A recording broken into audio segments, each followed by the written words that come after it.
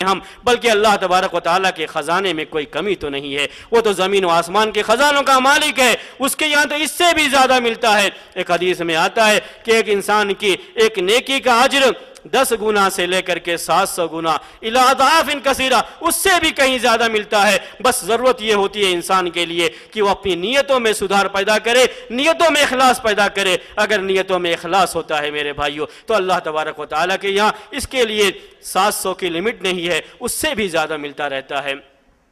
ये बात थी कि ज़क़़त के ज़रिए से माल में इजाफा कैसे होता है। उसके बाद मेरे भाइयों, ज़क़़त जो एक अहम इबादत है और जो हमारे लिए ज़रूरी है कि अल्लाह तबारक व ने जो हम पर ज़क़़त फ़र्ज़ की है, हम उसको अदा करें। ये हमारे ऊपर फ़र्ज़ है और इस फ़र्ज़ की अदायगी हमारी ज़िम्मेदारी है, क्योंकि यह माल अल्लाह का दिया हुआ है, हम उसी को अदा करते हैं। अल्लाह ताला की तरफ़ से अगर हमको उस पर कुछ भी अजर व सवाब न मिले, तब भी हमें कोई शिकायत नहीं होनी चाहिए।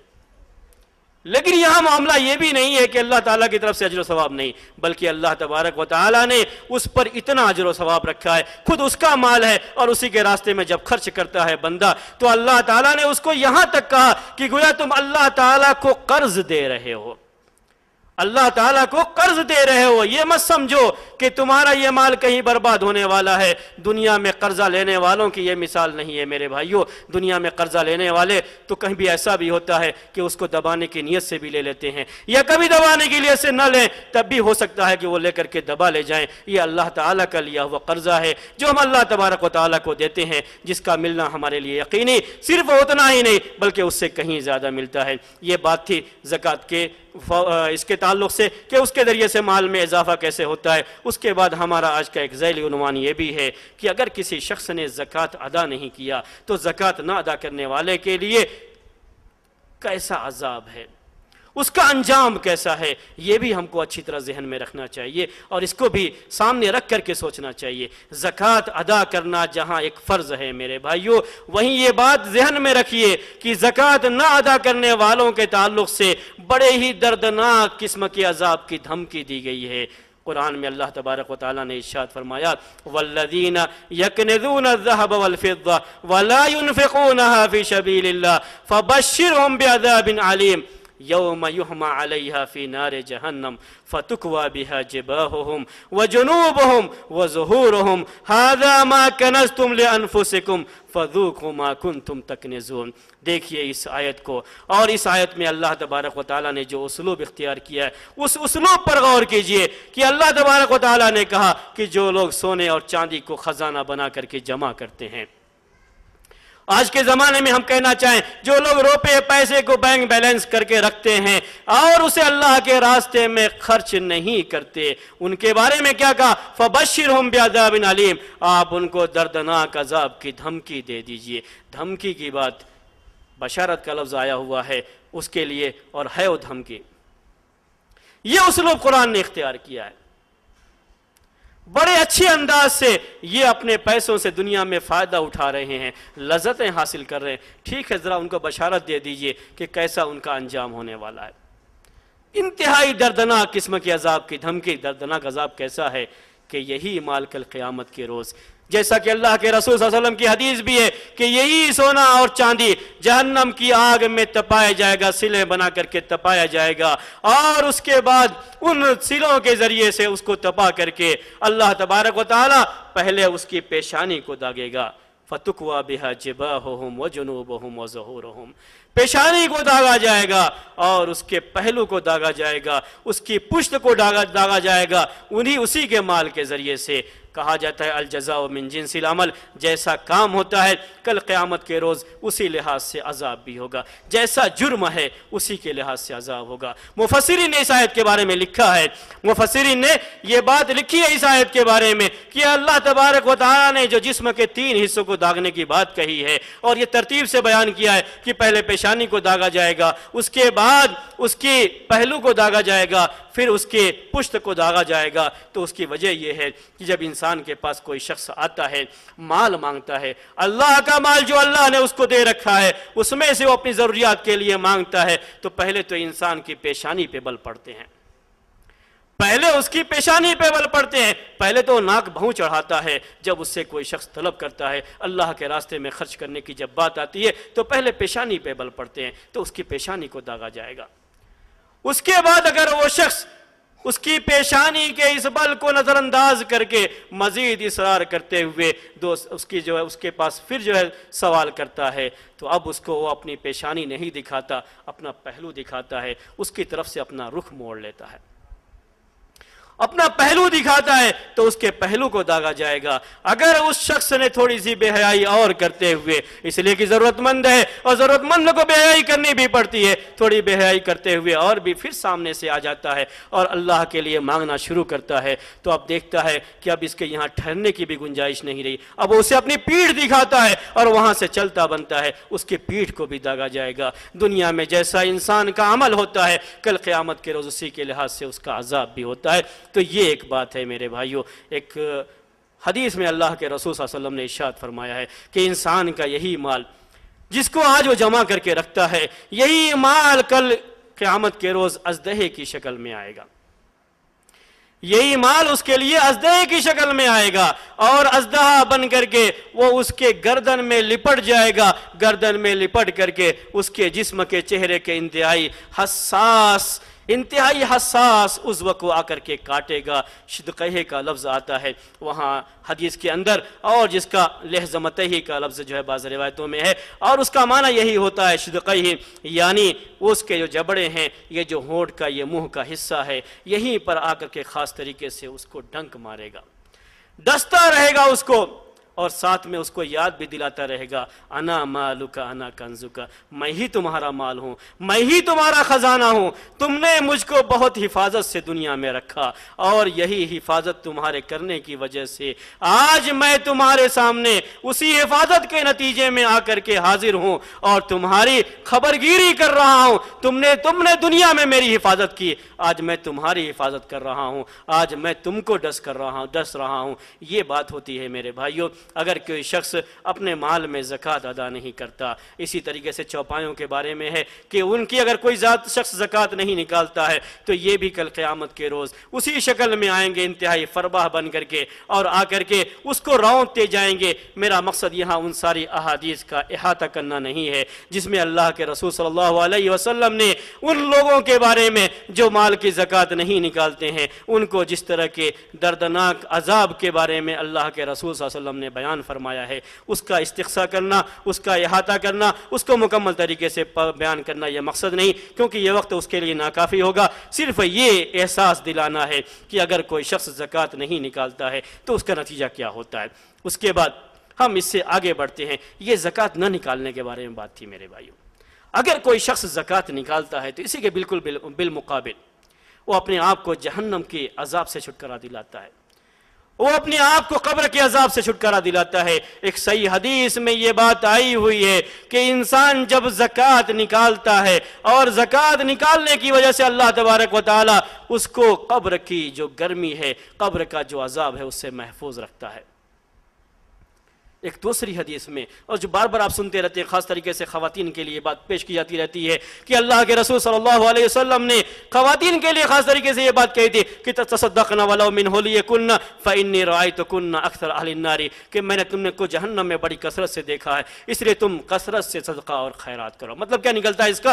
कि ये सदका और खैरात करना, अल्लाह के रास्ते में खर्च करना, ये जहन्नम के अजाब से भी, कब्र के अजाब से भी, और अल्लाह ताला के गज़ब से भी इंसान को महफूज रखता है। उन तमाम अहादीस को हम इस वक्त यहाँ पेश तो नहीं कर रहे हैं। हम अपने मौजू को अब आगे बढ़ा रहे हैं। अभी तक जो मैंने आपके सामने चीज़ें पेश की, वो बात थी जक़ात के ताल्लुक से, जक़ात के माने के ताल्लुक से और जक़ात की अहमियत, ज़क़़त के फ़वाद और उसके बाद ज़क़़त के ताल्लुक से ये बात कि ज़क़़त की अदायगी पर फ़वाद क्या होते हैं और ज़क़़त न देने के ताल्लुक से नुकसान क्या हैं, उसके ताल्लुक से बातें आपके सामने आ गई हैं। उसके बाद एक थोड़ी सी वजाहत जो आप बार बार सुन चुके हैं, इसलिए मैं बस बहुत ही चंद मिनट में उसकी वजाहत करना चाहूँगा कि ज़क़़त किन मालों में वाजिब होती है। ज़क़़त इंसान के लिए पाँच उसके, पाँच किस्म के माल हैं जिसमें ज़क़़त वाजिब होती है। और ख़ास तरीके से यहाँ हिंदुस्तान में रहते हुए, बेंगलुरु शहर में रहते हुए आप लोगों के लिए जो ज़क़़त जिसमें ख़ास तरीके से वाजिब होती है, वो है सोना और चांदी। और सोना और चांदी ही के हुक्म में आज की जो ये करेंसियाँ हैं, जो नकदी पैसे होते हैं, उसी के हुक्म में ये भी होते हैं। यानी यूँ समझ लीजिए कि हमारे पास जो कुछ भी पैसे की शक्ल में है, सोने और चांदी की शक्ल में है, इस पर ज़क़़त वाजिब होती है। सोने का निसाब ये बयान किया अल्लाह के रसूल सल्लल्लाहु अलैहि वसल्लम ने कि उसमें बीस दिनार हैं। आज के वज़न के लिहाज से ये अस्सी पर पाँच ग्राम होते हैं। और चांदी का निसाब अल्लाह के रसूल वसल्लम ने यह बयान फरमाया है कि ये 200 दिरहम होते हैं और आज के वज़न के लिहाज से ये पाँच सौ पंचानवे पाँच सौ नब्बे पर पाँच ग्राम हुआ करते हैं। ये सोने और चांदी का निसाब है। इसी बात को आप जहन में रखते हुए आपके पास जो भी सोना या चांदी की, शक्ल में चीज़ें मौजूद हों या ये कि आपके पास जो नकदी मौजूद है इसी हिसाब से उसको आप अपने पास उसका हिसाब करके उसके लिहाज से उसमें ज़क़़त अदा करें।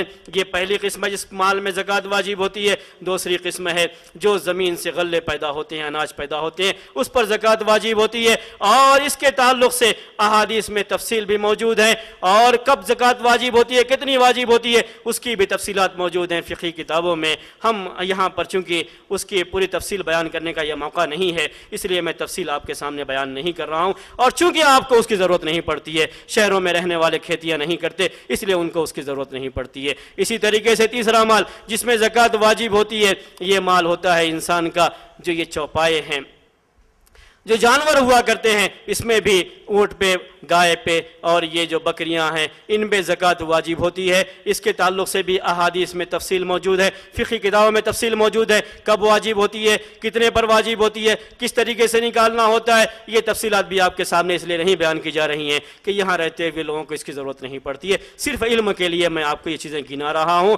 चौथी चीज़ जिस पर जक़ात वाजिब होती है वह इंसान का माल तिजारत माल तिजारत इसकी ज़रूरत हमें यहाँ पर पड़ती है। और आम तरीके से लोग इसके बारे में सवाल भी करते रहते हैं। इसलिए इसकी थोड़ी सी वजाहत मैं आपके सामने करता हूँ। आप जब तिजारत करते हैं अगर जो ता, जो ताजिर लोग हैं उनके पास तिजारत का जो भी माल मौजूद है सही कौल के मुताबिक उसी उस माल पर ज़क़़त वाजिब होती है। उस माल को उसको अच्छी तरह से हिसाब रखना चाहिए और हिसाब रख करके उसकी ज़क़़त उसे निकालनी चाहिए। हर ताजिर इस बात को अच्छी तरह से जानता है कि मेरी तजारत कितने में चल रही है। मैं इस वक्त कितने माल में मेरी तजारत चल रही है, उसको कितने कैपिटल में चल रही है, उसको इस बात का इल्म होता है। बाज़ लोगों ने यह बात लिखी है कि जो अभी उसके पास माल तिजारत है, जक़ात निकालने के वक्त में अच्छी तरह से उसका, उसकी कीमत के लिहाज से, उस दिन की मार्केट वैल्यू के लिहाज से, उसकी अच्छी तरह से कीमत देख करके उसका अंदाज़ा लगाए और उसके बाद जो उसके ऊपर वाजिबुल अदा रकमें हैं दूसरों की।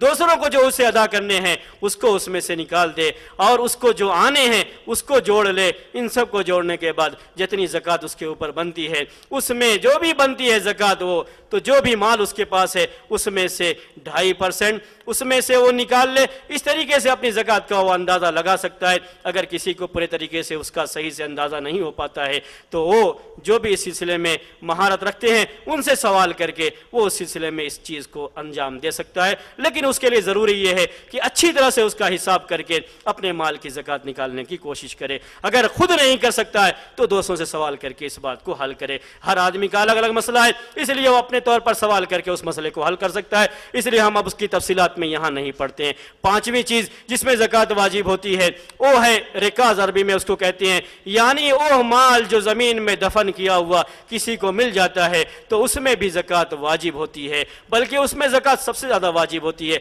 उसका पाँचवा हिस्सा उसको देना पड़ता है। यानी सौ में सौ में से उसको जक़ात उसमें दूसरी चीज़ों के मुकाबले में ज़्यादा देनी पड़ती है। सौ में से बीस उसको देना पड़ता है उसके अंदर। अगर कहीं उसको दफन किया हुआ माल मिल जाता है, उस पर भी ज़क़़त वाजिब होती है। ये पाँच किस्म के माल हैं जिस पर ज़क़़त वाजिब होती है। ये उसकी बातें इख्तसार के साथ मैंने आपके सामने पेश कर दी हैं। उसके बाद ज़क़़त का ये माल किन लोगों को देना चाहिए? उसके ताल्लुक से ज़क़़त का ये माल उसके मुस्तकिन कौन है? इस सिलसिले में कुरान ने आठ मसारिफ बयान किए हैं। इन आठ मसारिफ को कुरान की शायद को पढ़े बगैर मैं बड़े ही मुख्तसर अंदाज में आपके सामने पेश कर देता हूँ, क्योंकि मैं चाहता ये हूँ कि अब इस चीज़ को जल्द अज जल्द आपके लिए ख़त्म कर दिया जाए, क्योंकि घड़ी मेरे सामने है, वक्त गुजरता जा रहा है, इसलिए मैं तफसीत में जाना मेरे लिए इस वक्त मुमकिन नहीं है। ये आठ जगहें जो बयान की गई हैं, उसमें से पहली जगह है फ़करा और दूसरी मसाकिन, दो लफ्ज़ कुरान ने इस्तेमाल किए और इन दोनों लफ्ज़ों के बारे में आम तरीके से ये बातें होती हैं कि फ़कीर कौन है, मिसकीन कौन है। आप हदीस की किताबें पढ़ें और या फ़ुका की किताबें पढ़ें फ़िक की, उनमें इसकी बड़ी तफसील मिलती है और काफ़ी उनका इख्तलाफ भी मिलता है कि फ़कीर किसे कहते हैं, मिसकीन किसे कहते हैं। इतना ज़रूर है कि इन दोनों में से एक लफ्ज़ ख़ास है उस शख्स के लिए जिसके पास कुछ भी नहीं है और दूसरा है उस शख्स के लिए जिसके पास कुछ माल तो है, लेकिन उसकी ज़रूरत के लिए वो किफ़ायत नहीं करता है। ये तो अपनी जगह पर मुसलम है, लेकिन ये बात कि उसमें से फ़कीर कौन है जो बिल्कुल कुछ भी नहीं रखता, वो फ़कीर है या वो मिसकीन है और जो कुछ रखता है वो फ़कीर है। इसके बारे में सही कौल जो मुझे अब तक किताबें पढ़ने के बाद जो मुझे समझ में आया वो ये है कि इसका मसला भी वैसे ही है। जैसे मसला ईमान और इस्लाम का है, ईमान और इस्लाम के बारे में उनमें क्या फ़र्क है, क्या फ़र्क नहीं है? ईमान किसे कहते हैं, इस्लाम किसे कहते हैं? जो वैसे आम तरीके से आप अकीदे में मुख्तलिफ़ मुमकिन दरसों में आपने सुनी होंगी।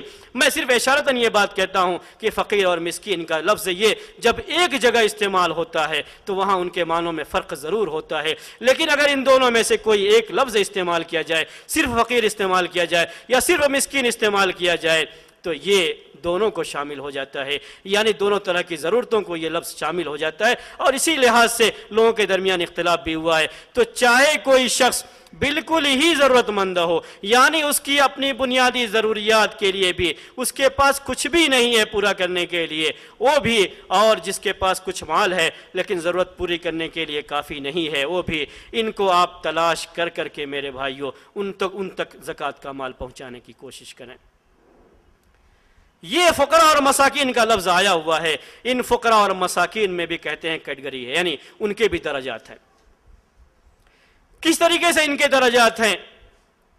इनमें भी ख़ास तरीके से वो फ़कीर और मिसकीन जो यतीम का दर्जा रखता है उसके ऊपर अगर आप जक़ात का माल खर्च करते हैं, यतीम चाहे बच्चा हो या बच्ची हो, अगर उसके लिए आप जक़ात का माल खर्च करते हैं, जो बिल्कुल फ़कीर और मिसकीन की तारीफ़ में आ रहा है तो याद रखिए, आपको यतीम की किफ़ालत का भी सवाब मिलता है, ज़क़़त की अदायगी का भी सवाब मिलता है। ख़ास तरीके से अगर नफली सदक़ात उसके ऊपर खर्च करते हैं तो उसके अजर सवाब में और इजाफा होता है। यही फ़कीर यही फ़कीर और मिसकीन मेरे भाइयों, अगर अपना रिश्तेदार हो, याद रखिए यही फ़कीर और मिसकिन अपना रिश्तेदार हो तो उसको तरजीह देनी चाहिए खर्च करते हुए।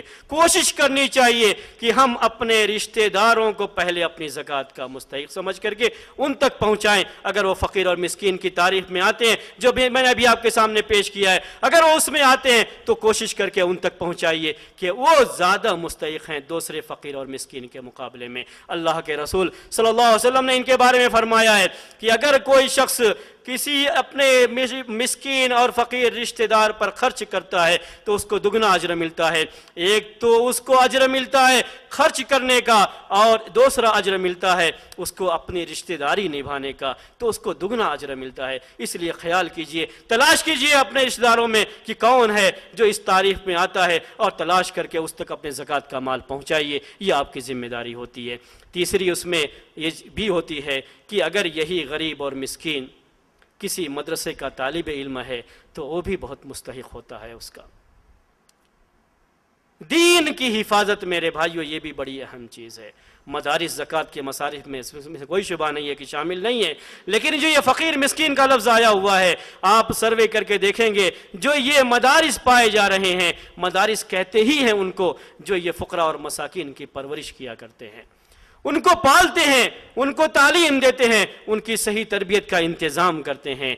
मैं इससे यकीनन वो मदारस इसमें शामिल नहीं हैं जो फ़ीस के इदारे कहलाते हैं, जो फ़ीस लेकर के बच्चों की तालीम देते हैं। और गरीबों और मस्किनों के लिए उनके यहाँ कोई जगह नहीं होती है, वो इसके मुस्तक नहीं होते हैं। लेकिन जो मदारस वाकई माने में गरीबों की परवरिश कर रहे हैं, गरीबों को पाल रहे हैं, लावारिस बच्चों या बच्चियों की वो परवरिश कर रहे हैं, यतीमों का ख्याल कर रहे हैं। मेरे भाइयों यकीन वो इसके मुस्तक हैं, बल्कि उनमें मुस्तकिन में उनका दर्जा ज़रा और बढ़ा हुआ है।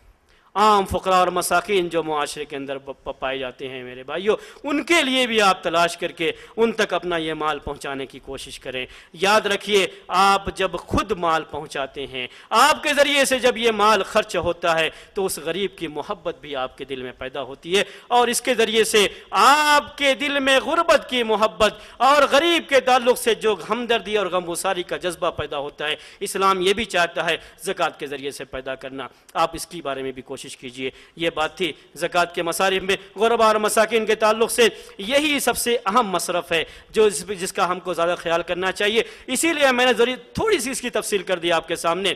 अल्लाह के रसूल सल्लल्लाहु अलैहि वसल्लम जब अपने ज़क़़त के वसूल करने वाले सहाबा जो होते थे, उनको जब आप भेजते थे तो आप उनको ये नसीहत ख़ास तरीके से किया करते थे कि जाओ ज़क़़त का माल लो और ज़क़़त के माल में लेने के बाद क्या कहते थे कि तू खदमिन अगनियाहिम फ़तरद्दफ़ी फ़ुकराहिम कि ये ज़क़़त का माल मालदारों से लेकर के फ़कीरों में तकसीम करो। मैं क्यों इतनी अहमियत दे रहा हूँ इसको? इसलिए कि कुरान ने इसको पहले बयान किया इन नमल फ़करा इन वलमसाकिन और अल्लाह के रसूल सल्लल्लाहु वसल्लम जब ज़क़़त वसूल करने वालों को भेजते तो हिदायत क्या करते थे? मालदारों से लेकर के फ़कीरों में तकसीम करो। मतलब क्या निकला? ये फ़कीर पहले मुस्तक हैं इस ज़क़़त के, और इनका पहले ख्याल करना चाहिए। अल्लाह के रसूल अलैहि वसल्लम अपनी इबादत में अल्लाह तबारक व के ज़िक्र करने की तरतीब का ख्याल किया करते थे। जब आप हज करने के लिए गए। तो आप सफ़ा और मरवा के दरमियान सही करने का बयान है। और शुरू कहाँ से करें? सफ़ा से करें या मरवा से करें? आपने सफ़ा से शुरू किया तो कहा, इन, उसमें आपने सफ़ा से शुरू किया। और कहा साहबा कराम से कि अल्लाह ताला ने सफ़ा से शुरू किया है, इसलिए हम भी सफ़ा से शुरू करेंगे। इन सफ़ा वल मरवत मिन शाह अल्लाह के रसूल सल्लल्लाहु अलैहि वसल्लम ने के इसी अमल की वजह से हाफिज इबन हजर अलैह ने जब वज़ू की तरतीब के बारे में बयान किया तो वज़ू की तरतीब में कहते हैं वो कि सबसे पहले वज़ू की तरतीब में चेहरे का मसला आना चाहिए। चेहरे में कुल्ली करना और नाक में पानी डालना वो भी शामिल होता है। तरतीब यहीं से आनी चाहिए। इसलिए कि अल्लाह ने बयान किया है वज़ू के बारे में, फ़गसिल वजूहकुम वाइदियाकुम मैं इसी से इस्तेमाल करते हुए मेरे भाइयों ये भी कहता हूँ कि ज़क़़त के माल की तकसीम का जब आए तो जब अल्लाह तबारक वाली ने कहा इन नमसदक़ातफ़क़रामसाकिन कि ये सदक़ात फ़करा के लिए हैं, मसाकिन के लिए हैं। फ़करा से जब उसकी शुरुआत हुई तो फ़करा से ये सबसे पहले मुस्तक होते हैं, हमको उनसे शुरुआत करनी चाहिए। उसके बाद तीसरे नंबर पर वो लोग आते हैं जो जक़ात की वसूल के लिए जाया करते हैं। चौथे नंबर पर वो लोग आते हैं, जो ख़ास तरीके से नए नए मुसलमान हैं, जो इस्लाम कबूल किए हुए हैं, या जिन कुफ़ार मुशिकिन के बारे में हम समझते हैं कि अगर हम इनको ज़क़़त का माल देंगे तो इस्लाम की मोहब्बत उनके दिलों में आएगी और ये इस्लाम के करीब आएँगे, जिसको तालीफ़ कल्ब कहा जाता है, इनको ज़क़़त का माल दिया जाए। रेक़ाब, यानी उस ज़माने में जो ग़ुलाम हुआ करते थे, उनको आज़ादी के लिए ये ज़क़़त का माल दिया जाता था। इसी तरीके से जो लोग गारमीन में शामिल हैं, ऐसे कर्जदार, जो अपनी बुनियादी ज़रूरतों की वजह से, या लोगों के दरमियान सुलह कराने के लिए, अपना माल खर्च करने की वजह से वो कर्जदार हो गए हैं, कर्जा उनके ऊपर चढ़ गया है। ऐसे लोगों के लिए भी ज़क़़त का माल देना जायज़ है। अल्लाह के रास्ते में खर्च करना, अल्लाह के रास्ते में कताल के लिए ये सातवीं जगह है और आठवीं जगह ऐसा मुसाफिर जो अपने शहर में मालदार हो। लेकिन रास्तों में, रास्ते में सफ़र की वजह से, उसकी जेब कटने की वजह से, या उसका माल लुट जाने की वजह से, अचानक बिल्कुल पर आ गया है, उसके पास कुछ भी नहीं है। ऐसे शख्स के लिए भी जक़ात का माल देना जायज़ है। फिर भी इसके बारे में कहा जाता है कि किसी से कर्ज लेकर के अगर वापस कर दे तो यह उसके लिए ज़्यादा बेहतर है। ये ज़क़़त के मसारिफ की बात थी मेरे भाइयों। ये ज़क़़त के बारे में तफसीत बयान करने के बाद आखिरी बात जो इस मौजू से मुतल है, वो बात आपके सामने अर्ज़ कर दूँ। ये ज़क़़त मेरे भाइयों, हम लोग खर्च करते हैं। ये सदका और खैरात हम खर्च करते हैं। जब हम अल्लाह के रास्ते में खर्च कर ही रहे हैं तो इसमें हमें अपनी नीयतों को दुरुस्त कर लेना चाहिए। और ऐसा कोई भी काम नहीं करना चाहिए, जिससे ये सदक़ात और खैरात बातिल हो जाया करते हैं और अल्लाह ताला के यहाँ उसका कोई अजर सवाब नहीं मिलता। हम खर्च कर रहे हैं तो हमको मालूम होना चाहिए कि कौन से ऐसे इसबाब हैं जिनकी वजह से ज़क़़त में दिया हुआ ये माल, सदक़े में दिया हुआ ये माल, अल्लाह के रास्ते में खर्च किया गया ये माल, ये सब की सब बर्बाद हो जाता है और खर्च करने वाले को कुछ भी नहीं मिलता है। ये दो चीज़ें कुरान में ख़ास तरीके से बयान की गई हैं। ये हैं, या लातुब तलु सदक़ात बिलमन वाल मन के ज़रिए से, अज़ा के ज़रिए से अपने माल को बर्बाद ना करो। रियाकारी, उससे पहले आप शामिल कर लीजिए। तो तीन चीज़ें हो जाती हैं कि ये मन और अज़ा क्या है? अपने माल को दे करके आप किसी पर एहसान जतलाएँ। इसके ज़रिए से आपका दिया हुआ माल सब कुछ बर्बाद हो जाता है। माशरे में मेरे भाइयों, ये बात देखने बहुत आती है। कि एक शख्स अगर कहीं किसी पर एहसान करता है, एहसान भी किस तरीके का है? एहसान भी नहीं कहा जाएगा। ये अपने माल की जक़ात अदा करता है, सदका करता है, अल्लाह के यहाँ सवाब की नीयत से माल खर्च करता है। लेकिन जब कोई मौका आता है तो कहता है कि इस तंजीम को हमने इतने पैसे दिए थे और आज ये हमारे साथ ये बर्ताव कर रहे हैं। ये एहसान जतलाना ये सदका और खैरात में मेरे भाइयों, अल्लाह ताला के यहाँ बिल्कुल काबिल कबूल नहीं। बल्कि जैसे ही माल दिया, वैसे ही उसे भूल जाना चाहिए। उसको याद भी नहीं रहना चाहिए कि मैंने फलां तंजीम को, या फलां मदरसे को, या फलां इदारे को मैंने ये माल दिया था। लोग जक़ात का माल देते हैं और उसके बाद ये उम्मीद रखते हैं कि इस इदारे में और इस तंजीम में हमारी राय चलनी चाहिए। इसलिए कि हमने माल दिया है। ये आपने नहीं मेरे भाइयों, ये आपने अल्लाह का माल दिया है।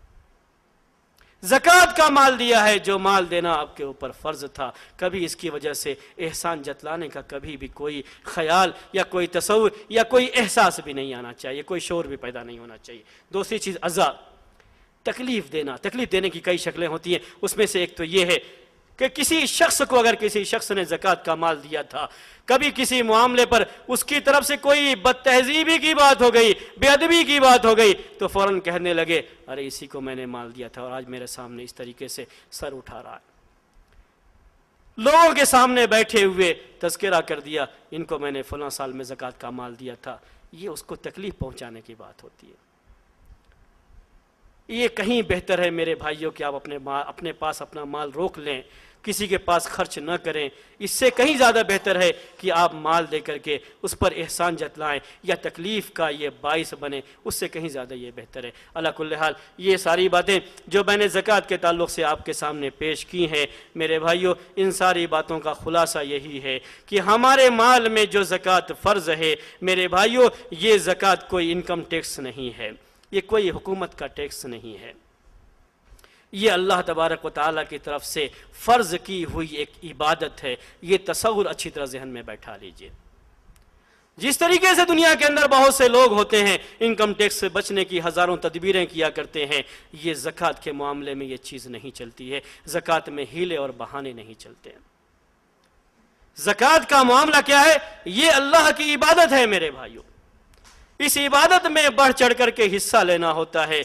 इसमें कहीं हीले बहाने नहीं। मैं ये बात इसलिए पेश कर रहा हूँ कि जहाँ तक मेरी मालूम है और मैंने सुन रखा है कि बहुत से लोग ऐसे भी होते हैं कि वो जक़ात से बचने के लिए कुछ हीले भी किया करते हैं।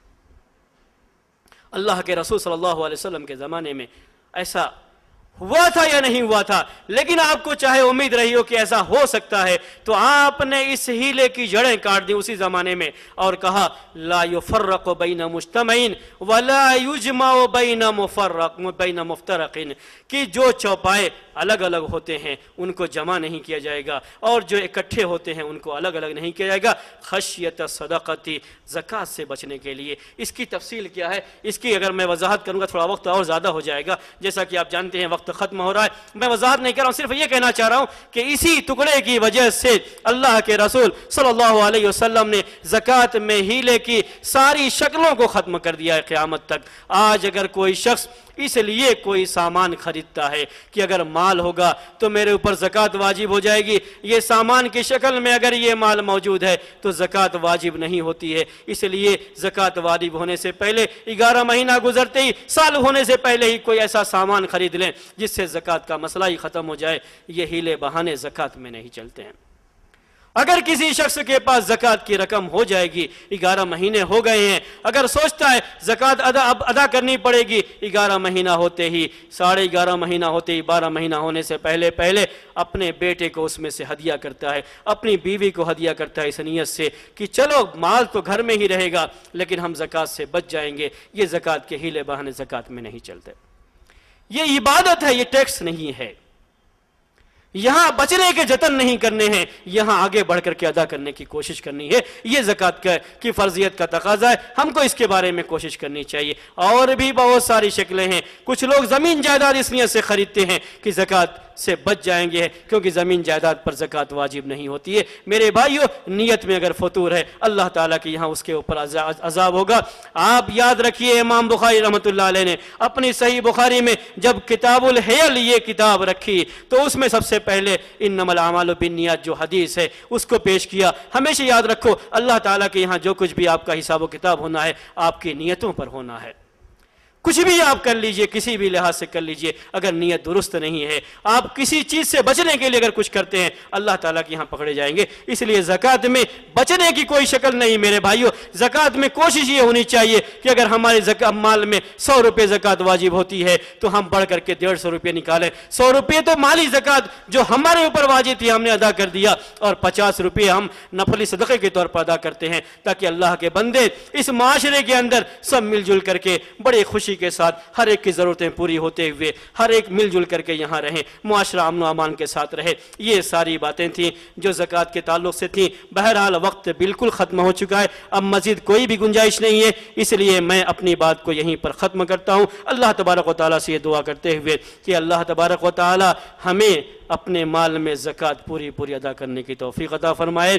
हम जो माल अल्लाह के रास्ते में ख़र्च करते हैं, अल्लाह ताला उन्हें कबूलियत से नवाजे और अल्लाह तबारक व ताली हम में से जो भी मालदार हैं और अपने माल की ज़क़़त सही तरीके से निकालते हैं, अल्लाह ताली उनके माल में और मज़ीद बढ़ोतरी अता फ़रमाए, उनके माल में बरकत अता फ़रमाए। हमारे हलाल रोज़ी में अल्लाह तबारक बरकत अता फ़रमाए और हम में से हर शख्स को इस काबिल बनाए कि वो ज़क़़त ज़क़़त देने वाला बने, ज़क़़त लेने वाला ना बने। इसी बात पर मैं अपनी तकरीर को ख़त्म करता हूँ। व आखरदावान अलहमदिल्ला रबालमी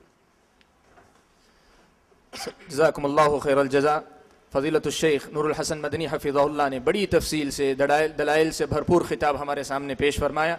अल्लाह ताला आपके इल्म अमल में बरकत अता फ़रमाए और आपकी इस कोशिश को आपके अमाल नामे में शामिल फरमाए। आमीन। हमारे प्रोग्राम की पहली नशस्त ख़त्म हुई, वो आपका ख़िताब था। अब दूसरी नशस्त जो अमला ज़्यादा अहम है, वो सवाल जवाब की नशस्त है। मैं उम्मीद करता हूँ कि जो भाई इतनी देर तक बैठे रहे, कुछ और देर बैठ कर ये जो हमारे सवाल जवाब की नशस्त है, इससे भी फ़ायदा उठाने की कोशिश करेंगे। कबल इसके कि मैं फ़जीलतुल्शेख को सवाल का जवाब देने के लिए दावत दूँ। आपके सामने एक मुख्तसर सा तारफ़ रख देना है। आप सब जानते हैं कि मजालिस रमदान जिसकी एक कड़ी आज हम लोग देख रहे हैं यहाँ, जिसमें हम शरीक हैं, ये मरकज़ुदरासत Islamia C S, centre for Islamic studies की तरफ़ से मुनद किए जा रही हैं। इस मरकज़ के तहत अल्लाह के फजल करम से बहुत सारे कारनामे, बहुत सारे काम अंजाम पा रहे हैं, जिसकी तफसील आपके हाथों में दी गई है। इनमें से एक दो की तरफ़ मैं मुख्तसरा इशारा कर दूँ। सबसे पहले मिसाल के तौर पर कुल्लियतुल हदीस शरीफ। ये हदीस के अंदर स्पेशलाइजेशन करने का कोर्स है, Jamia Islamia Medina मनवरा Islamic university of Medina का फैकल्टी ऑफ़ हदीस जो है, बिल्कुल उस नहज पे अरबी ज़बान में उसी निसाब को रखकर तालीम दी जा रही है, जो अपनी नोयत का पूरे हिंदुस्तान में एक मुनफरद इदारा है। दूसरी जो इनकी, जो दूसरा काम जो यहाँ अंजाम पा रहा है, वो है गूँगे और बहरे। इनकी तालीम इस्लामी तरबियत का, इस्लामी तालीम का अहतमाम किया जाता है। आपके इल्म में लाने के लिए बात बता दूँ, पूरे जनूबी हिंद में, साउथ इंडिया में ये मरकज सिर्फ़ दो जगह है। एक केरला में है और दूसरा ये sub centre for Islamic studies है। अल्लाह ताला का फजलो करम है कि यहाँ इस्लामी तरबियत पाने या तालीम हासिल करने के बाद गूँगे और बहरे भाई अपने जैसे गूँगे और बहरे भाइयों में जाकर इस्लाम की तबलीग कर रहे हैं, कई भाई इस्लाम भी कबूल कर चुके हैं। अब उनके अमलन मसाइल हैं, उनकी अपनी ज़िंदगी और उनके घरेलू मामला हल करने की ज़िम्मेदारी भी है। ताउन इस सिलसिले में मरकज़ भी कर रहा है। ये भी मरकज़ की एक बहुत बड़ी जो है खिदमत है। तीसरी जो है एजुकेशनल एंड मेडिकल एड तलबा को या जो है गरीब मुस्तक जो लोग होते हैं, उनकी सेहत और बीमारी की सूरत में या तालीमी मजबूरी की सूरत में ताउन मरकज़ से दिया जाता है। ये भी एक मुस्तकिल काम है जो मरकज़ के तहत अंजाम पा रहा है। मुख्तलिफ़ किताबें और मुख्तलिफ़ किस्म के मुफीद पम्फलेट किताब सुन्नत की तालीमत सलफ़ सालहीन के नहज पर तरतीब दिए हुए मौजूद हैं। बहुत सारे मरकज़ ने अब तक प्रिंट करके मुफ़्त तकसीम किए हैं। अब भी बहुत सारे प्रोजेक्ट्स मौजूद हैं। फंड्स बर वक्त ना होने की वजह से उनको अभी आगे नहीं बढ़ाया जा सका है। ये मरकज़ की एक इंतहाई अहम जो है शिक है, जहाँ मरकज़ कोशिश कर रहा है।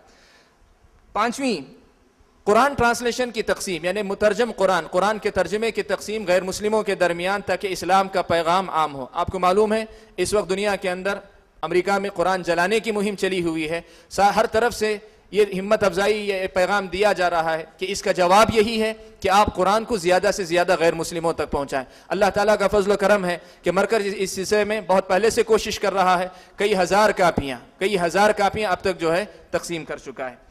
पाँचवा, पाँचवीं एक्टिविटी या पाँचवा जो इनका कारनामा है वो ये कि मुख्तलिफ़ किस्म के प्रोग्राम कॉन्फ्रेंसें और जो है दुरूस वगैरह का ये अहतमाम करते हैं, जिनमें की एक शक्ल ये मजालिस रमज़ान भी हैं। सातवीं आठवीं चीज़, रमज़ान पैकेज यानी गरीब और मुस्तकिन मुसलमानों को रमज़ान में खाने पीने, रोज़े की सहूलत फराहम करने के लिए पैकेज बनाकर लोगों को जो है अनाज फराहम किया जाता है। अल्लाह ताला का फजलो करम है, इस रमज़ान के महीने में अब तक साढ़े आठ सौ से साढ़े आठ सौ से ज़्यादा घरानों को, मुस्लिम घरानों को बेंगलोर और बेंगलोर से अतराफ व अकनाफ अनाज पहुँचाया जा चुका है। और नौवीं एक्टिविटी है बैन मजाहिब, यानी मुख्तलिफ़ मजाहिब के लोगों के दरमियान जो है मुनाकशा रखना ताकि जो हकीकत को, इस्लाम की हक्कानियत को वाजे किया जा सके। और दसवीं एक्टिविटी हफ्तावारी दुरूस की शक्ल में है। जो मर्दों के लिए और ख़वान के लिए अलग अलग चलते हैं। और इसी के ज़िम्न में मैं आपके सामने इसका ऐलान भी कर दूँ कि पिछले एक साल से फ़जीलत शेख नूरुल हसन मदनी हफिज़ल्ला का दर्स कवायद फ़िकिया पर जारी था, कवायद फ़िकिया ख़त्म हुए। इन एक नया सिलसिला, अलवजीज़ फ़ी फ़िक सुन्नत अज़ीज़ शेख अब्दुल अदीम बदवी की किताब है। इस किताब का बाकायदा दर्स फजीलत शेख नूर हसन मदनी हफिदुल्ला मरकज़ में शुरू करने जा रहे हैं। जो भाई इस सिलसिले में रगबत रखते हैं, वो अपना नाम दर्ज करवा दें। इन सारी तफसीत को सुनाने के बाद, मुझे आपके सामने जो बात कहनी है वो ये, कि आप सब इस बात से बखूबी वाकिफ़ हैं कि इतने बड़े काम करने के लिए दुनिया में छोटा सा छोटा काम बगैर पैसे के नहीं चला करता है। मरकज़ इतनी सारी जिम्मेदारियाँ अपने कंधे पे लिया हुआ है तो यकीनी बात है इसके अखराज का अंदाज़ा आप खुद अंदाज़ा लगा सकते हैं कि बहुत ज़्यादा है अखराज या आप भाइयों के ताउन के बगैर नहीं चल सकता। ये बहुत ही नापसंदीदा बात होनी चाहिए थी कि इस जैसे मरकज, चाहे ये मरकज हो या कोई भी इस्लामी मरकज हो या कोई भी दीन के नाम पे काम करने वाला शख्स, आपके सामने अपनी हाजत लेकर आए, आपके सामने अपील रखे कि आप हमारा ताउन करें, ऐसा नहीं होना चाहिए था। होना तो ये चाहिए था कि ये भाई जब मेहनत कर रहे हैं तो हमको आगे बढ़कर जो है, उनके पास, उनके शाना बशाना कदम से कदम मिलाकर, उनके साथ पैसा देकर ताउन करना चाहिए था। लेकिन ये हमारी मजबूरी है, हालात कुछ ऐसे ही हैं कि मराकज़ इस्लामिया जो है वो तबर्रुआत या आपके सामने एक अपील और आपके सामने दरख्वास्तों के ज़रिए ही चलते हैं। इसलिए आपके सामने ये दरख्वास्त रखी जा रही है। हम तमाम लोग जो इससे जुड़े हुए हैं, हम तमाम भाइयों से इल्तमास करते हैं, तमाम भाइयों से दरख्वास्त करते हैं कि इतने अजीम कारनामों को अंजाम देने के लिए आपके जायज़ पैसे की यहाँ बहुत ज़्यादा ज़रूरत है। आप बढ़ चढ़ कर इस सिलसिले में ताउन फरमाएँ। बिलखसूस हमारी माओ और बहनों से मैं गुजारिश करता हूँ कि आप भी इस सिलसिले में बढ़ चढ़कर हिस्सा लें। हमेशा ये देखा गया है कि खातन इस किस्म के मैदान में आगे बढ़कर आती हैं। तो मैं उम्मीद करता हूँ कि मर्द अपनी आखिरत की फ़िक्र के लिए खातन अपनी आखिरत की फ़िक्र के लिए मरकज़ की तमाम ही सरगर्मियों में बढ़ चढ़ कर हिस्सा लेंगे। इस सिलसिले में आपके हाथों में जो फॉर्म दिया गया है, उसमें यह वजाहत दी गई है कि आप जो है, कई हैसियतों से ताउन कर सकते हैं। चाहे तो आप नकद रकम दे सकते हैं, अभी आप देना चाहें। उसके लिए खातन में वॉल्टियर मौजूद हैं, उनके पास जो है, रिसिप्ट मौजूद है, आप पैसा देकर रसीद वसूल कर सकते हैं। मर्दों में काउंटर पे आपके लिए जो है, बैठे हुए हैं हमारे अपने भाई, उनके पास नकद जमा करके आप रसीद हासिल कर सकते हैं। दूसरी सूरत है कि आप माहाना अपना जो है मतलब कोई एक कंट्रीब्यूशन इसमें लगाएँ, या सालाना अपना कंट्रीब्यूशन दें इस सिलसिले में। यह बहुत ही अच्छी बात है। अल्लाह ताला का फजलो करम है कि प्रोग्राम शुरू होने से पहले ही इस अपील को देखकर एक बहन ने माहाना पाँच सौ रुपये अपनी तरफ़ से अदा करने की ज़िम्मेदारी कबूल की। और प्रोग्राम खत्म होते होते मेरे पास ये चिट्ठी पहुँची है कि एक भाई ने जक़ात फंड के अंदर, जक़ात फंड के अंदर अभी नकद जो है, नौ हज़ार रुपया जो है मतलब दिया है। अल्लाह ताला इन दोनों की इस पहल को कबूल फरमाए और इनकी इस पहल से हमारे और आपके दिलों के अंदर वो जज्बा पैदा फरमाए कि हम सब बढ़ चढ़कर हिस्सा ले सकें। आपके सामने इसकी वजाहत कर दूँ कि इस फार्म के अंदर ये वजाहत मौजूद है कि जक़ात फंड अगर आप दे रहे हैं, जक़ात का पैसा दे रहे हैं तो उस खाने पे निशान लगाए जिस पे जक़ात लिखा हुआ है, ताकि वो पैसा सिर्फ़ उन्हीं मुकाम पे खर्च किया जाए जहाँ मरकज ने सराहत की है। मरकज ने यह बात लिखी है कि जक़ात का पैसा सिर्फ़ दो मुकाम पे खर्च किया जाएगा, वो है मेडिकल एंड एजुकेशनल एड। जो मेडिकल के मैदान में, यानी सेहत के मैदान में बीमारों की मदद के लिए, या फिर जो है एजुकेशनल तालीमी मदद के सिलसिले में पैसा जो देना है, इसी दो मुकाम, इन्हीं दो मुकाम पर मरकज़ अपना पैसा लगाएगा। तो मैं उम्मीद करता हूँ कि आप तमाम भाई इस वक्त अज़म करके जाएँगे और अभी नहीं, मरकज़ के साथ हमेशा जुड़े रहेंगे और इसकी जितनी सरगर्मियाँ हैं, इसमें बढ़ चढ़ अपना ताउन देने की कोशिश करेंगे। इस वक्फे के बाद मैं अपने उनवान की तरफ़ आता हूँ, अपने मौजू की तरफ़। मैंने कहा कि मरकज़, इस, हमारे इस प्रोग्राम की दूसरी अहम कड़ी या दूसरी अहम जो नशिश है, वो सवाल जवाब की है। मैं आपके सामने बताऊँ सवाल बहुत ज़्यादा हैं और छोटे छोटे सवाल हैं और तकरीबन सभी अहम सवाल हैं। मैंने कोशिश की है कि जो सवाल मौजू से मुतल थे, उनको मुकदम कर लिया बकिया सवाल को मौखर रखा है। मैं फजीलत शेख नूरहसन मदनी हफीदुल्ला से पहले ही ये गुजारिश करूँगा कि सवाल के जवाब इंतहाई मुख्तसर दें। दलाइल वगैरह की तफसील अगर किसी को चाहिए तो वो शेख का नंबर नोट करके शेख से बाद में रबता कर लें। नंबर नोट कर लें। शेख का नंबर है double nine zero two four seven six two seven two एक मरतबा फिर बता दूँ। Double nine zero two four seven six two seven two तो शेख से मैं गुजारिश करता हूँ कि मैं सवाल पढ़ता जाऊँगा, आप मुख्तसर जवाब देते जाएँ। पहला सवाल है, घरों के एडवांस पर जक़ात का क्या हुक्म है? सबसे पहले ये बात मैं वाजे कर दूँ कि मेरे पास, इस सवाल से पहले ही एक आज़म भाई ने एक वर्क़ा मुझे इनायत फरमाया था, जिसमें दो सवाल पहले से मौजूद हैं। मैं इन दो सवालों का बिल्कुल ही मुख्तर अंदाज में थोड़ी सी बात करता हूँ, उसके बाद जो इस सवाल के इस पर आता हूँ। सबसे पहला सवाल इसमें यह है कि सुर आला पढ़ने के वक्त में जब इमाम साहब पढ़ते हैं, पहली आयत जो सुर आला की है, जब वो पढ़ते हैं उस आयत को तो बाज़ औरतें, उन्होंने सुना है कि वो सुबहान अल्लाह पढ़ती हैं तो क्या दुरुस्त है या नहीं? है जहाँ तक फ़र्ज़ नमाज़ों की बात है तो हम फ़र्ज़ नमाज़ों में ऐसी कोई चीज़ ना पढ़ें, लेकिन जब हम कुरान की तिलावत करें या नफली नमाज़ों में, अपने घरों की नमाज़ों में जब कुरान की तिलावत करें तो कुरान में जिस तरह की आयत आती हैं, उसके लिहाज से हम उसके साथ उस तरह की चीज़ को तलब करते हुए आगे बढ़ सकते हैं, कोई हर्ज नहीं है। उसमें चूँकि ये बात आती है कि अल्लाह की तस्वीर बयान करने का उसके अंदर तस्करा आया हुआ है, उसी लिहाज से वो सुबहान अल्लाह जिन्होंने जो भी कहती होंगी, उसी लिहाज से कहती होंगी। जब कुरान की तिलावत करते हैं, ये बड़ी अहम चीज़ है कि हम कुरान की तिलावत तो ऐसे ही करते जाते हैं, लेकिन जब इमाम के पीछे नमाज़ पढ़ते हैं, सारी चीज़ों का हमें ख्याल आता है। कुरान की तिलावत करते हुए, कुरान के साथ रहते हुए कुरान की तिलावत करें और जिस तरह की आयत होती है, उसके लिहाज से आगे बढ़ते जाएँ, ये ज़्यादा बेहतर है। यही उसका जवाब है, मैं यही मुख्तर अंदाज में। अगर मज़ीद कुछ तफसील चाहिए तो जैसा कि इन्होंने कहा, आप अगर फ़ोन पर रबता करें तो मैं और उसके बारे में तफसील पेश कर सकता हूँ। दूसरा जो इसमें सवाल है, वो ख़ुदकुशी के ताल्लुक से है। ख़ुदकुशी के बारे में कि इंसान कभी ऐसा होता है कि बहुत ज़्यादा मसायब से घिर करके ये सोचता है कि हम अपने आप को ख़त्म कर लें। ये मामला हमेशा याद रखिए, एक जुमला मैं कहता हूँ इसके बारे में। अल्लाह तबारक व ताली किसी भी शख्स के लिए दुनिया के अंदर ये बात बहुत आसान है कि अपने आप को खर्च, अपने आप को ख़त्म कर ले। किसी भी इंसान के लिए बहुत आसान है कि खुदकुशी कर ले, अपने आप को ख़त्म कर ले, अपने आप को मौत के हवाले कर दे। ये बहुत आसान है। मुश्किल तो ये है कि इंसान इस दुनिया में अपने आप को ज़िंदा रखे। एक आसान काम को क्यों चुनना चाहते हैं? मुश्किल काम को चुनिए। अल्लाह तबारक वाली को ये मुश्किल काम पसंद है। ये क्यों आसानी में जाना चाहते हैं? अपने आप को ज़िंदा रखिए, चाहे मसाइब के जितने भी अंबार आ जाएँ। मुश्किलात की जितनी भी आपके पास सिलें आ जाएँ, लेकिन हर एक के साथ हँसते खेलते, सब्र करते हुए, शुक्र करते हुए ज़िंदगी बसर कीजिए। अल्लाह ताला को ये मतलूब है। अल्लाह ताला का ख़ुदकुशी नहीं। दूसरा उसमें मसला ख़ुदकुशी का जुड़ा हुआ ये है कि ख़ुदकुशी के ताल्लुक से ये बात इसमें लिखी हुई है कि आदमी ख़ुदकुशी करे तो गुनहगार क्यों? जबकि तकदीर में उसके लिखा हुआ होता है। किसी भी गुनाह करने में तकदीर से दलील नहीं ली जा सकती। ये बात जहन में रखिए। गुनाह करके तकदीर से दलील लेना ये जायज़ नहीं है। कोई शख्स कोई गुनाह करे और ये कहे कि मेरी किस्मत में लिखा हुआ था, ये हराम है।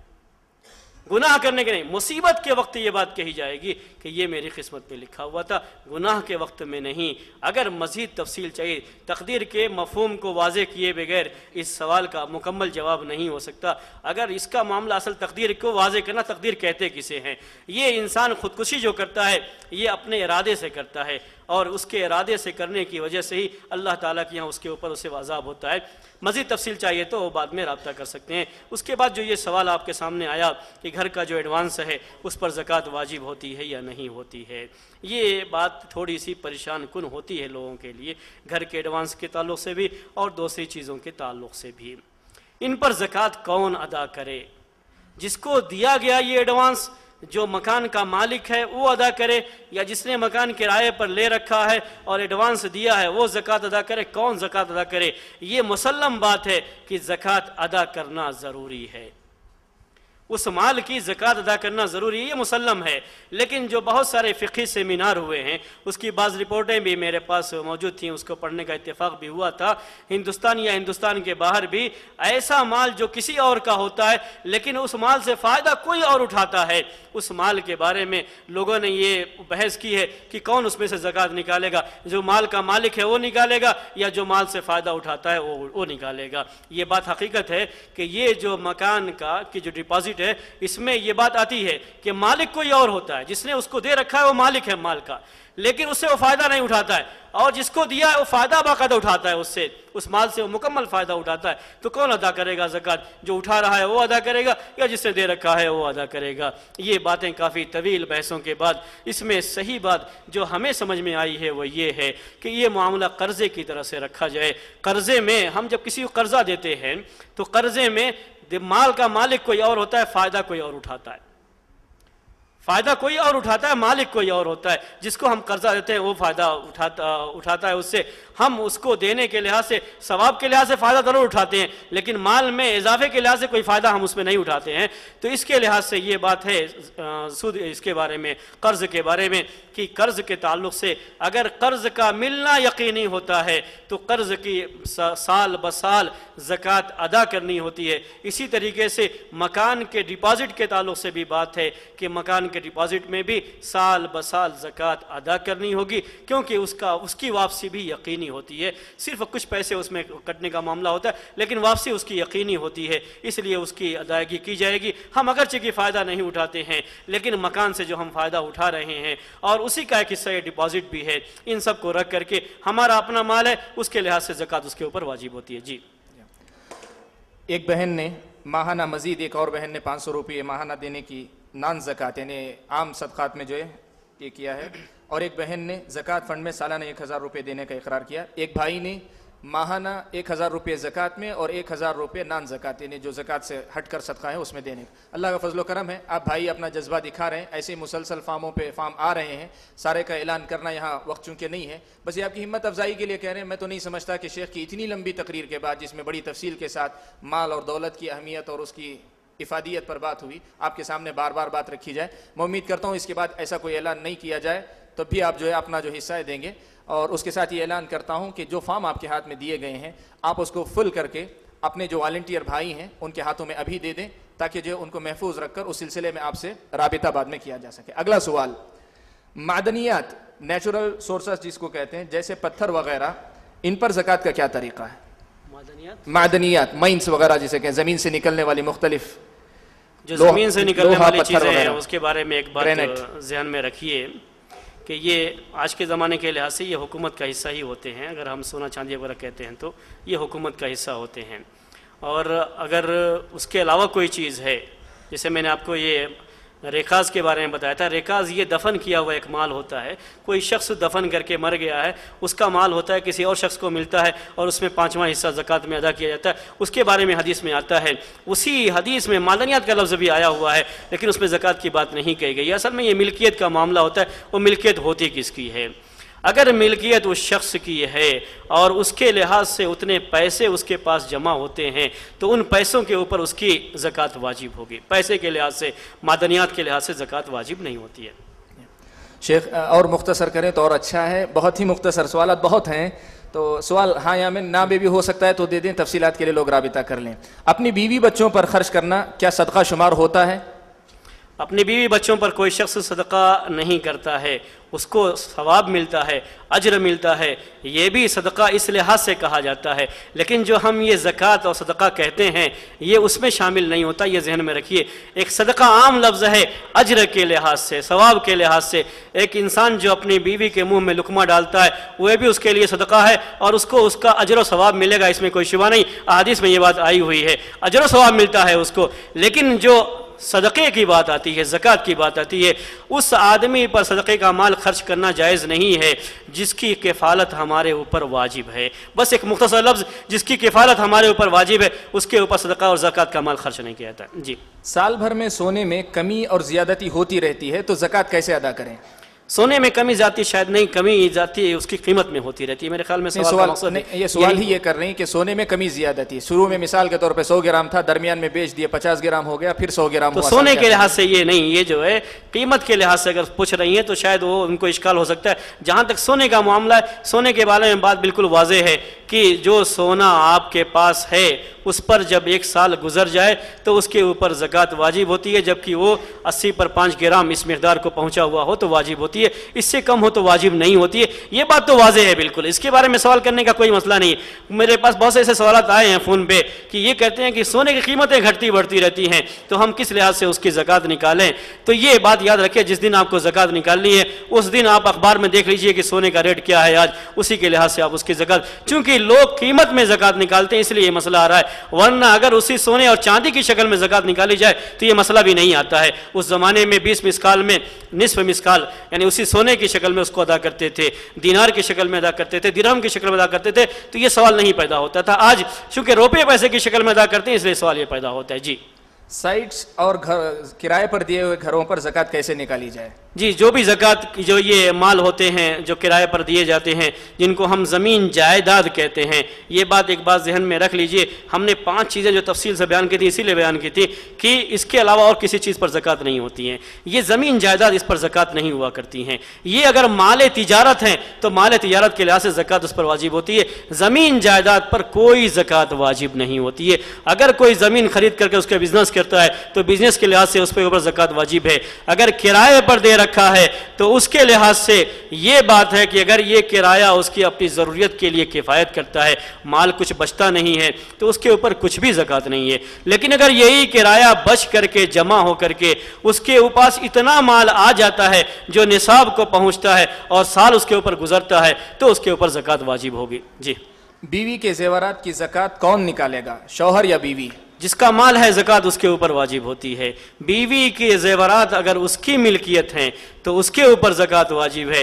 बीवी के जेवरात अगर शौहर की मिल्कियत हैं तो शौहर के ऊपर ज़क़़त वाजिब है। इस बात को ज़रा फ़र्क को जहन में नोट कर लीजिएगा। ख़ास तरीके से मैं ख़वातीन से ये बात कह रहा हूँ। उस जेवरात बीवियों के होते हैं, लेकिन मिल्कियत किसकी है, ये दूसरा मसला होता है।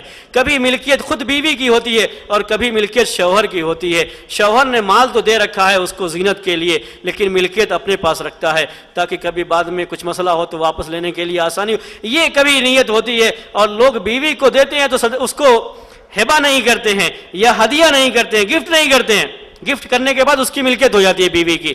माल ज़रूर देते हैं, जेवर ज़रूर देते हैं, लेकिन मिल्कियत का हक अपने पास रखते हैं। अगर किसी शख्स ने ऐसा कर रखा है तो शौहर के ऊपर वो जक़ात वाजिब होगी, याद रख लीजिएगा।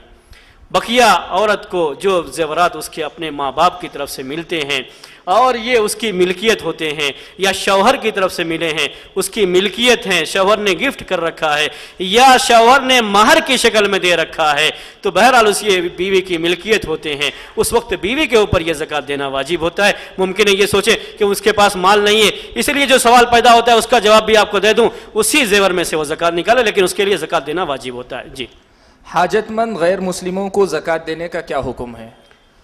मैंने कहा, शुरू में जब वलमफ़त क़लूबहम की बात आई थी तो ये बात कही थी कि ऐसे गैर मुस्लिम, जिनके बारे में हमको ये है, उम्मीद है कि हमारे ज़क़़त के माल से मुमकिन है इस्लाम से वो करीब हो जाए और उसके दिल के में इस्लाम के ताल्लुक़ से नरम गोशा पैदा हो जाए तो ऐसे किसी गैर मुस्लिम को ज़क़़त का माल देना ये जायज़ है। तालीफ़ कल्ब में ये चीज़ आ जाती है। उलमा कराम में से बहुत सारे लोगों ने इस बात को बयान किया है। लेकिन अगर इसके अलावा है, सिर्फ़ फ़कीर और मिसकीन का अगर मसला है तो उस वक्त उनको ये ज़क़़त का माल नहीं दिया जा सकता। क्योंकि उलमा में से बाज़ लोगों ने तो खदमिन अगनिया अहिम फ़तरदफ़ी फ़करा अहिम में, हम की ज़मीर को मुसलमानों की तरफ़ लौटाते हुए कहा कि मुसलमान मालदारों से लेकर के मुसलमान फ़कीरों को यह ज़क़़त का माल दे दिया जाएगा। तो ये मसला फ़कीर और मिसकिन के लिहाज से नहीं, तालीफ़ कल्ब के लिहाज से दे सकते हैं, जी। क्या जक़ात पैसों की शक्ल ही में दी जाए? ज़क़़त जिस चीज़ की होती है, उसी शक्ल में दी जाती है। ये बात इस को नोट कर लीजिए। मैंने पाँच चीज़ें जो आपके सामने बयान की थी, हदीसों में यही आता है, सोने और चांदी की ज़क़़त को सोने और चांदी की शक्ल में दिया जाता था। जो हैवान हैं, ये मवेशी, इनकी ज़क़़त हैवान की शक्ल में आप तफसील पढ़ेंगे, तफसील हमने बयान नहीं किए तो उसमें हैवानों का ही तस्करा आता है कि चालीस बकरी में एक बकरी देना होता है और तीस गाय में बकरी, गाय का एक साल का बच्चा देना होता है। जो माल है, उसी माल में ज़क़़त फ़र्ज़ की है। जब ये खेती होती है, अनाज होता है तो उसी अनाज का दसवां हिस्सा या उसी अनाज का बीसवां हिस्सा देना पड़ता है। ये ज़क़़त के अंदर बयान तफसीलात जो आई हुई हैं, यही है। जिस माल की ज़क़़त होती है, उसी माल में उस ज़क़़त को देना होता है। यही असल है। अगर ऐसा मुमकिन नहीं है तो बाज़ की राय के मुताबिक दूसरी जिन्स से ज़क़़त दी जा सकती है। इमाम बुखारी रमत सिलसिले में इसलाल ये किया है कि जो चौपायों की ज़क़़त की बात आई हुई है, उसमें यह है कि अगर ये मुमकिन ना हो तो ये दिया जाए। उसमें जो तफसील बयान की है, उसमें दिनार और दिरहम का लफ्ज़ भी आया हुआ है। उसी से ये बात मुस्तमद की है कि ये दिनार और दिरहम उस ज़माने के रुपये पैसे हुआ करते थे तो आज के ज़माने के लिहाज से रुपये पैसे की शक्ल में उसको दे सकते हैं। जी। रुपये पैसे से अनाज वगैरह खरीद कर देना घर बना कर देना यानी अजनास जो। जक़ात की है उससे हट कर दूसरी शक्ल में जक़ात देना जक़ात देना ये सही नहीं है। जो जक़ात का मुस्तक है उसको पैसा दिया जाए वो अपनी ज़रूरत के लिहाज से जो भी उसकी है वो मुकदम करेगा उसके लिहाज से वो खर्च करेगा। उसकी ज़रूरत को हम नहीं जानते हैं इसलिए हम उसके लिए उसके माल उसका माल हो गया ये उसके माल के लिए हम क्यों उसके लिए ख़रीद करके देंगे? ये मुनासिब नहीं है। जी। ज़क़़त अदा करने से क्या मुसलमानों पर आई हुई मुसीबतें ख़त्म हो जाएँगी? कौमी मुसीबतें, कौम पर जो आई हैं। जक़ात और सदक़े के बारे में एक आम बात याद रखिए। आम बात यह भी है कि सदक़े की वजह से अल्लाह का गज़ब ठंडा होता है। ये अहादीस में, ये हसन दर्जे की अहादीस पहुँचती हैं, ये उन अहादीस में इसका तस्करा आया हुआ है। और जानते हैं आप, ये जो अजाब आता है, ये अल्लाह ताला के गज़ब की एक अलामत होती है। तो अल्लाह ताला के गज़ब से बचने के लिए ये सदक़ा खैरत भी एक ज़रिया है। उसके लिहाज से सदक़ा खैरत कसरत से करना चाहिए। अगर लोग अपने माल की ज़क़़त नहीं निकालेंगे तो सोन इबन माजा की एक रिवायत है कि अल्लाह ताला उन्हें कासाले में मुबतला कर देगा। इस तरह की रिवायतें मौजूद हैं जिससे मालूम होता है कि माल की ज़क़़त निकालने से ये आम जो कहत साली होती है उससे भी इंसान महफूज होता है। जी। औरत के पास जेवर की शक्ल में सोना है लेकिन पैसा नहीं है तो जक़ात कैसे अदा करें? उसी जेवर में से इससे पहले सवाल में आ चुका था मैंने कहा था उसी जेवर में से वो जक़ात निकालेगी। जितना जेवर है उसी का एक हिस्सा जक़ात में निकालेगी। ये ज़रूरी नहीं है कि पूरे जेवर को अपने पास रखें चाहे जो है हमारे पास गुंजाइश ना हो उसको अदा करने की जक़ात नहीं उसी जेवर में से जक़ात निकालेगी। जी। सवाल कर आ चुका था, फिर भी जक़ात के मुस्तक गरीब रिश्तेदार हैं या बैतुल माल है? ज़क़़त के मुस्तकिन के ताल्लुक़ से ये बात जहन में रखिए और बैतुलमाल के ताल्लुक़ से ये दोनों बातें एक दूसरे के साथ ज़रा जुड़ी हुई हैं। बैतुलमाल का मामला ये अल्लाह के रसूल वसल्लम के ज़माने का अगर मामला है तो सारे लोगों की ज़िम्मेदारी है कि वो बैतुलमाल में ला करके दें। उस ज़माने में निज़ाम यही था अल्लाह के रसूल वसल्लम के ज़माने में कि नफली सदक़ात व खैरात तो लोग खुद खर्च कर दिया करते थे, लेकिन ज़क़़त के माल की वसूली के लिए बाकायदा हुकूमत के कारिंदे जाते थे। मुआज बिन जबल रज़ी अल्लाह को दूसरों को भेजा गया, वो जा करके वसूल करके लाते थे और उनके साथ अच्छे सलूक के मामला भी आए हुए, यही आमिलीन हुआ करते थे। ये जब इस्लामी बैतुलमाल जिसको हम हुकूमत का बत, ये याद रख लीजिएगा, ये हम जो बैतुलमाल मनाते हैं, इनको वो दर्जा हासिल नहीं होता है, बल्कि ये जो हुकूमत का बैतुलमाल होता है होता है, जो इस्लामी खिलाफत के ताल्लुक से बात है, जो अल्लाह के रसूल वसलम के ज़माने में खलफा राशिन के ज़माने में उसका तस्वूर आता है, बाद के दिनों में उसका तस्वूर नहीं आता उस अंदाज से। तो ये बात ध्यान में रखिए। अगर वो है तो पहले इसमें कोई शुभा नहीं है कि उनको बैतुलमाल को दिया जाएगा। लेकिन उस तफसील को जहन में रखिएगा, अगर वो चीज़ जैसा कि यहाँ हिंदुस्तान में वो मामला नहीं है तो यहाँ हर आदमी कोशिश ये करे कि जो फ़कीर, गरीब, जो नादार किस्म के लोग, जो उसकी ज़रूरतें उसको नज़र आती हैं, उन तक खुद पहुँचाने की कोशिश करे। ये उसके लिए ज़्यादा बेहतर है। जी। अगला सवाल अहसन आदम वजूब ज़क़ात फ़िलहजार समीना हीरे जवाहरात में ज़क़़त वाजिब नहीं है, इसकी दलील क्या है? हीरे जवाहरात या जो भी चीज़ें इस तरह की आती हैं, जो महँगे से महँगी चीज़ें भी हों, कहते हैं कि अगर ये इस्तेमाल की हैं, अगर ये इस्तेमाल की हैं तो इस्तेमाल के माल में ज़क़़त नहीं होती है। ये एक मुसलमा असूल है शरीयत का। अगर ये इस्तेमाल किए, जहन में रख लीजिएगा इसी तरह से, क्योंकि ये फ़र्क नहीं करेंगे तो परेशानियाँ आती हैं। अगर ये हीरे जवाहरात इस्तेमाल में आ रहे हैं, जेवर उसके मौजूद हैं। और ये बात जेवर के बारे में कहा जाता है कि जेवर पे जक़ात सोने और चांदी के लिहाज से वाजिब है। जेवर के लिहाज से वाजिब नहीं है। इस वरना ये इस्तेमाल के माल में आती हैं। तो इस्तेमाल की जो भी चीज़ें एक आदमी के पास करोड़ों की अगर कार आ जाए तो भी उसके ऊपर जक़ात वाजिब नहीं होती है, क्योंकि ये उसके इस्तेमाल की चीज़ें इस्तेमाल की चीज़ों में जक़ात वाजिब नहीं होती है। अगर यही हीरे जवाहरात तिजारत की शक्ल में हमारे पास आ जाएँ तो ये उनके ऊपर जक़ात वाजिब है, क्योंकि तिजारत का माल है। हैसियत से हुक्म बदलता है। तो हीरे जवाहरा जो हम ये कहना कह रहे हैं कि ये जक़ात वाजिब नहीं है, ये इस्तेमाल के लिहाज से है, ये जहन में रख लीजिएगा। अगर उसके अलावा कोई और हैसियत उसकी है तो उसके ऊपर जक़ात वाजिब होती है। वरना अगर ये हीरे जवाहरात कान की शक्ल में हुकूमत के पास जाते हैं तो हुकूमत उसे मुख्तलिफ़ अपने मसारिफ में खर्च करेगी। ये उसका मामला है, ये चूँकि अफराद का मामला नहीं होता है, इसलिए जक़ात से उसका ताल्लुक नहीं होता है। जी। अगर मैं इस साल जक़ात नहीं दे सकती तो क्या अगले साल दो साल की जक़ात एक साथ निकाल सकती हूँ? ज़क़़त जब फ़र्ज़ हुई है कोई भी अमल जब फ़र्ज़ होता है तो वो फ़र्ज़ फ़िलफ़ौर होता है या फ़र्ज़ बितराखी होता है। ये एक फ़ुका की बहस है इस सिलसिले में कि कोई भी अमल जब फ़र्ज़ होता है तो उसी वक्त नहीं करना ज़रूरी होता है या बाद में करने की गुंजाइश होती है। रमज़ान के महीने में इस वक्त आपके ऊपर रोज़ा फ़र्ज़ है तो क्या रमज़ान के महीने में रख न रख करके किसी और महीने में रखने की गुंजाइश होती है या नहीं होती है? इस साल ज़क़़त हमारे ऊपर हज वाजिब हुआ है तो क्या इसी साल हज करना हमारे लिए वाजिब है या नहीं है? या बाद में भी एक साल के बाद, दो साल के बाद कर लेंगे? ये एक मसला है जो पेश किया जाता है इस सिलसिले में। याद रखिए, हर ओह हर ओ इबादत जो मुतन है अपने मीकात के साथ उसका वक्त मुतन कर दिया गया है, उसमें तखिर की गुंजाइश नहीं होती है। क्योंकि अगला लम्हा हमारी ज़िंदगी होगी या नहीं होगी, हम इसके बारे में नहीं जानते।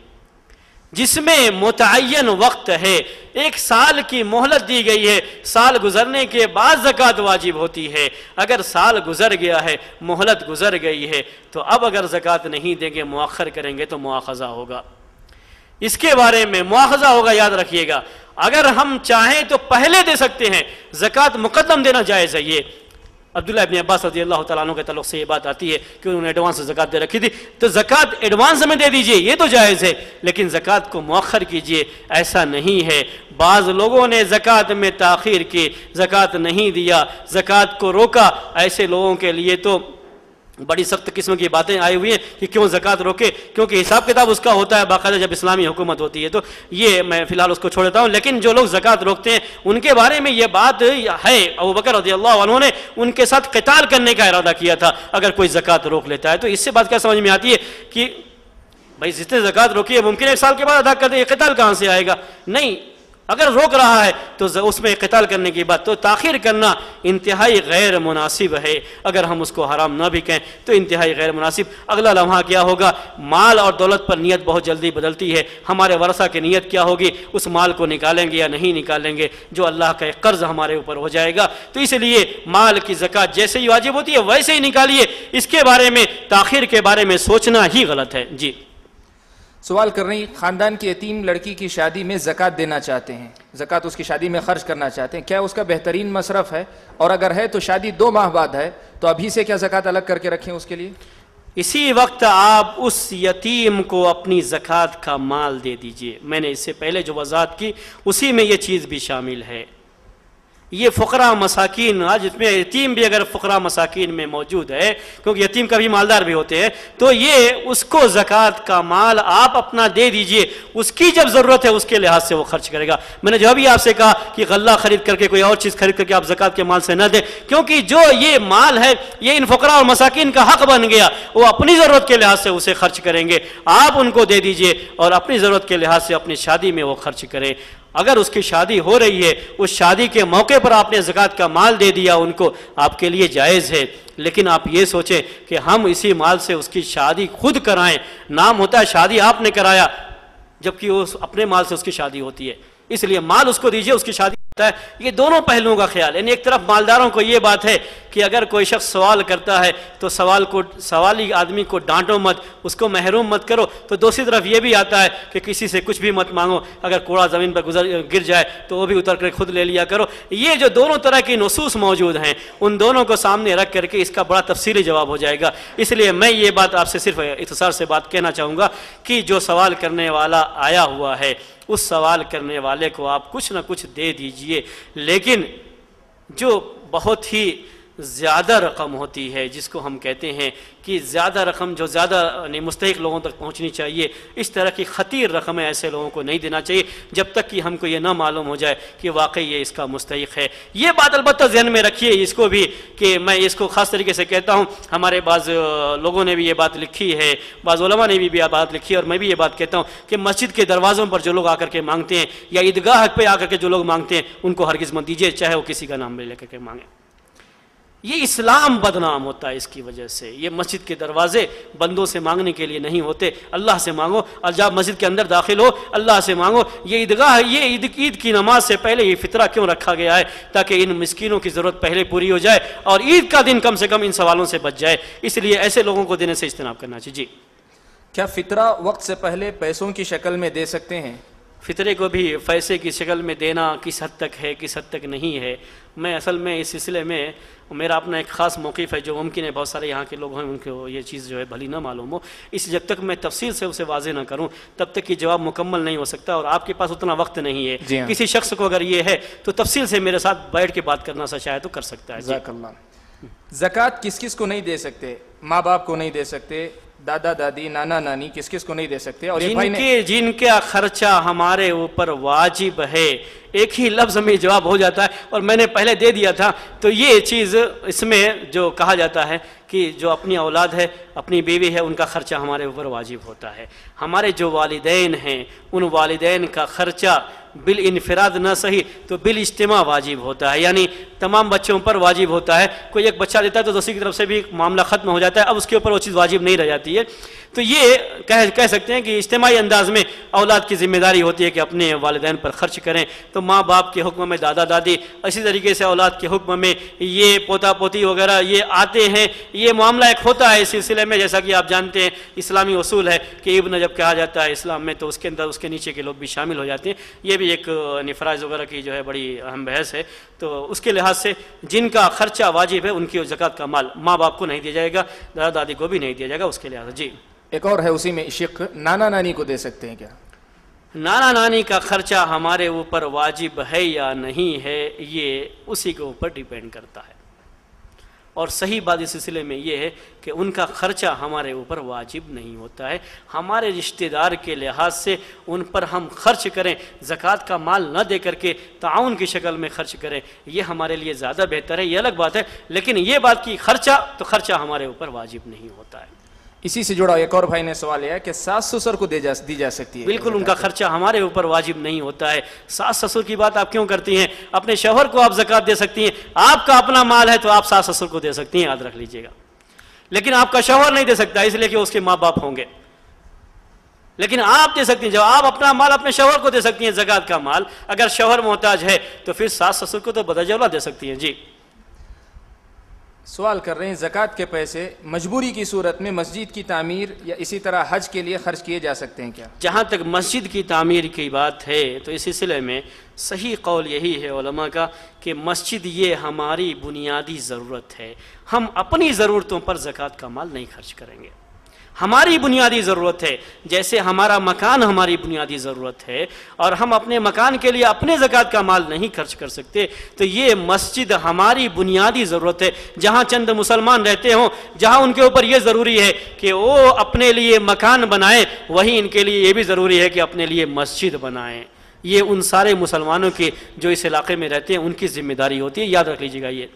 अगर उस इलाके के लोग उस ज़िम्मेदारी को अदा नहीं कर पा रहे हैं, गरीब मिस्किन होने की हैसियत से तो दूसरे इलाके के लोग इसमें ताउन कर सकते हैं। ये ताउन शामिल हो सकता है, लेकिन ज़क़़त के माल को इसमें इस्तेमाल नहीं करना चाहिए।